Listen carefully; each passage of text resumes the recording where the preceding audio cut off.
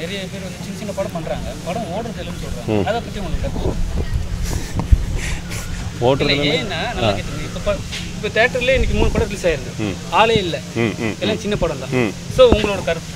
இல்லை அதுக்கு நம்ம ஒன்றும் காரணம் சொல்ல முடியாது. ஒன்றாவது வெயில் ஹெவியாக இருக்குது வீட்டை விட்டு யாரும் வெளில வர யோசிப்பாங்க. ப்ளஸ் இன்றைக்கி ஃப்ரைடே ஒர்க்கிங் டே இன்னும் நாளைக்கு நாளான்னைக்கு நம்ம பார்க்கணும். சாட்டர்டே சண்டே எப்படி போகுதுன்றதை பார்த்து தான் நம்ம முடிவு பண்ண போகிறோம் சில படங்கள் சரியாக போகலன்னா மேபி அதுக்கான ப்ரொமோஷன் இல்லை அதுக்கான மக்கள் எதிர்பார்க்குற ஆர்டிஸ்ட் இல்லை அதுக்கான ஃபேஸ் வேல்யூ இல்லாமல் நல்ல படங்கள் சிலது காணாமலும் போயிருக்கு. ஆனால் அதை நம்ம ஓடிடியில் பார்க்கும்போது இந்த படத்தை என் தேட்டரில் மிஸ் பண்ணணும்னு சொல்லிட்டு நிறைய படத்தை நம்ம பார்த்துருக்கோம். அடடா இது நம்ம தேட்டரில் பார்த்து தான் இன்னும் நல்லாவே இருந்திருக்கும்னு.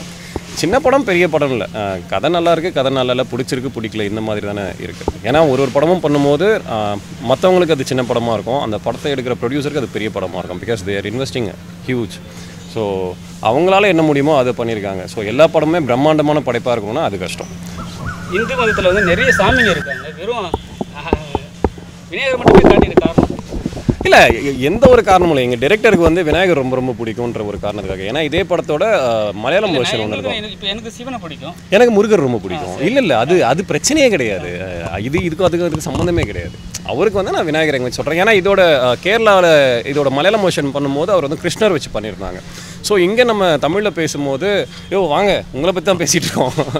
தமிழில் பண்ணும்போது அவருக்கு வந்து விநாயகர் வச்சு போகலாம் அப்படின்னு வந்து அவர் ஒரு ஒப்பீனியன் ஒன்று வச்சார். சரி ஓகே அதை வச்சு போகலாம். இதுக்கான தனிப்பட்ட கருத்து எதுவுமே கிடையாது. உங்கள் ஃப்ரெண்ட் சர்க்கிள் படம் பார்த்துருப்பாங்க. என்ன சொன்னாங்க? இல்லை படம் பார்த்தது முதல்ல நீங்கள் தான். இன்னும் மற்றவங்க யாருமே பார்க்கல. ஸோ நீங்கள் தான் சொல்லணும். இவர் தான் இயக்குனர். நீங்கள் உங்களுடைய கேள்விகளை இவர் மேலே ஷூட் பண்ணலாம். இந்து மதத்தை சார்ந்து ஏன் படம் எடுத்தீங்க? ஃபர்ஸ்ட் படம் எடுத்திருக்கீங்க. கமர்ஷியலாக போயிருக்கலாம். இல்லை உங்களுக்கு ஏதாவது பாதிப்பு இருந்ததா? இல்லை உங்களுக்கு வந்து சாமி பக்தி ஜாஸ்தியா? அதை பற்றி சொல்லுங்க. அப்படி இல்லை. சாமி பக்தி எல்லாம் நல்ல அளவுக்கு இருக்கு. ஆனால் இந்த கதை ரொம்ப பிடிச்சது. அதனால ஒரு இங்கே தமிழ் வந்து பண்ணலாம்னு யோசிச்சது. ஹீரோ எப்படி செலக்ட் பண்ணீங்க? அவர் தான் வேணும்னு கடைசியாக வந்து அவரே வந்து சாமியாக காட்டுறீங்க. எதனால? அப்படியெல்லாம் இல்லை கதை அது டிமாண்ட் பண்ணு அதனால தான் சாமியாக காட்டினது. இல்லைன்னா அவர் என்ன ஃபஸ்ட்டுக்கு என்னோட க்ளோஸ் ஃப்ரெண்டு அவர் பண்ணால் நல்லா இருக்குன்னு ஒரு ஐடியா இருந்தது. இதில் வந்து நானே சாமின்ற மாதிரிலாம் இல்லை. எல்லாருமே அவங்கவுங்களுக்கு உள்ளே பார்க்க வேண்டியது. உருவத்தில் சாமியாக காட்டார். அதுதான் அதுதான் சொல்ல வந்தது. நீங்கள் தான் கடவுள் அப்படின்றது தான் அவங்க சொல்ல வர்றது. அது அதுதான் கிளைமேக்ஸில் சொல்கிற உன் உள்ளம்தான் கோயில் நீ தான் கடவுள்ன்றது மட்டும்தானே. அதனால் நீங்களும் ஒரு கடவுள்ன்றது தான் இவரும் சொல்ல வர்றாரு. டேரக்டர் சார் கிளைமாக்ஸுக்கு முன்னாடி சீனில் பார்த்தீங்கன்னா வட இந்தியாவில் வந்து விநாயகர் தெரியிற மாதிரி காட்டுவீங்க. ரமேஷ் பட் தமிழ்நாட்டுக்கு வந்த பிறகு விநாயகர் அவர் தெரியிற மாதிரி காட்ட மாட்டீங்க. ஸோ என்ன காரணம் அது? தமிழ்நாட்டில் வந்த பிறகு தான் அவனுக்கு ஒரு இது வரணுது.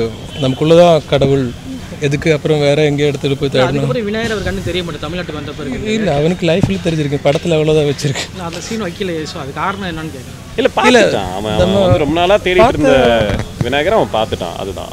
அவர் அவர் தான் விநாயகர் அப்படிங்கிற மாதிரி. அப்படி இல்லை. நமக்குள்ளே தான் கடவுள் கடவுள் இருக்கிறாரு. அந்த ஒரு எதுக்கு வேற வெளியே போய் தேடணும்? அங்கே மட்டும் எதுக்கு காட்டுனீங்க வட இந்தியாவில் அதுக்குன்னா அவன் கொஞ்சம் சேஞ்ச் ஆகிட்ட அதுக்கு மீன்ஸ் அவன் தப்பான ரூட்டில் தான் போயிட்டு இருந்தேன்.